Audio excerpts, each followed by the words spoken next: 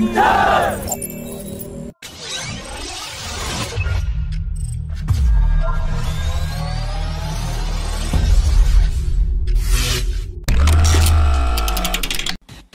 Indian Air Force had ordered the Hammer air-to-ground munition from the French company Safran Electronics and Defense for its Tejas aircraft in 2021, and as per media reports, after integration by Hindustan Aeronautics, the Tejas aircraft has successfully tested the Hammer, that will enable it to strike hardened targets at distances of over 70 kilometers, and a Tejas aircraft will be capable of carrying up to 5 Hammers. Hindustan Aeronautics has also informed all potential customers such as Malaysia, Philippines and Argentina that it is open to integrate any weapon specified by them. After the closure of the Su-30 plant, Hindustan Aeronautics Aircraft Division at Nashik is now shifting its focus to manufacture parts and assembling structures for the Tejas Mark 1A and AMCA program. HAL is creating the necessary infrastructure at the Nasik factory so that it can be used to manufacture five additional Tejas Mark 1A per year for domestic as well as export markets. HAL Nasik also has been selected for the AMCA program, and a few structures and other components for the first five prototypes and pre-production AMCA fighter jets will be manufactured at this facility just ahead of Prime Minister Modi's visit to France. French firm Naval Group has confirmed that it is no longer in the race to provide six next-generation conventional diesel attack submarines to the Indian Navy under Project 75I, after it was not able to meet certain conditions of the Indian Navy.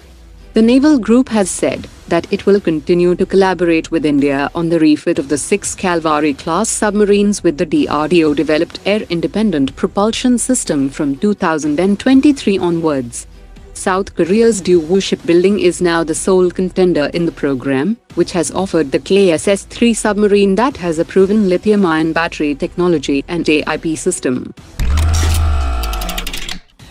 DRDO's Combat Vehicles Research and Development Establishment has started work to develop a 600 horsepower automatic transmission for military tracked vehicle, which is being developed for the future infantry combat vehicle program, under which the Army aims to procure 1,750 tracked futuristic infantry combat vehicles.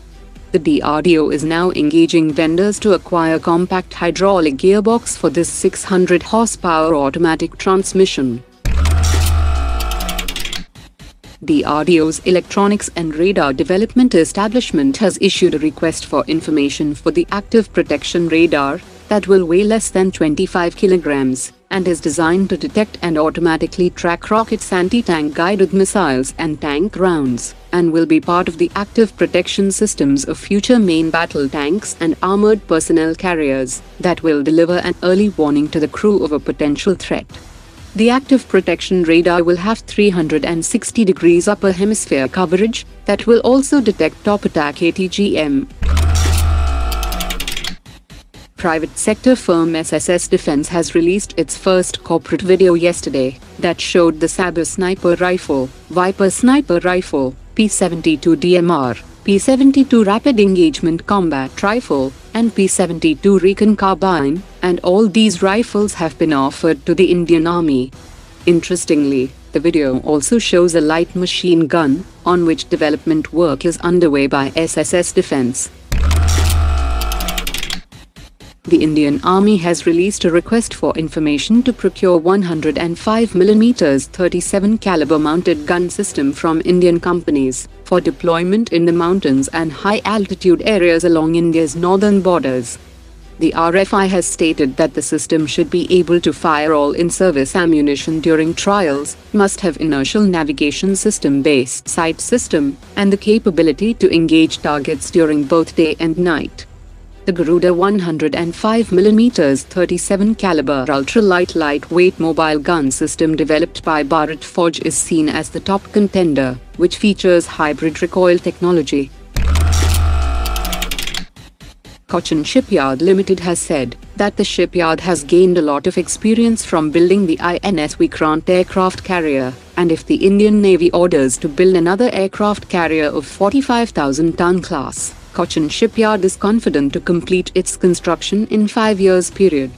Cochin Shipyard has said that it can also make aircraft carriers that use the electromagnetic aircraft launch system and is expanding the capacity of its dry dock so that construction of aircraft carrier of 70,000 tons can be undertaken in the future.